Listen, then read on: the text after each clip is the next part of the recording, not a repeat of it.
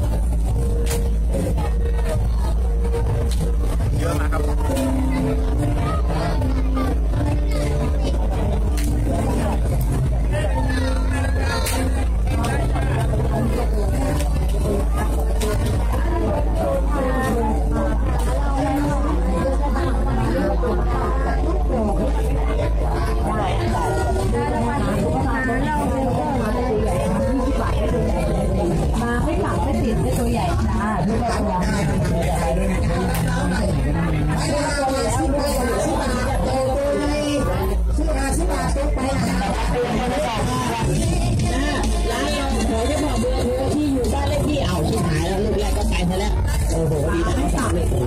พี่พี่พี่พี่ตัวใหญ่นะครับตัวใหญ่นะครับ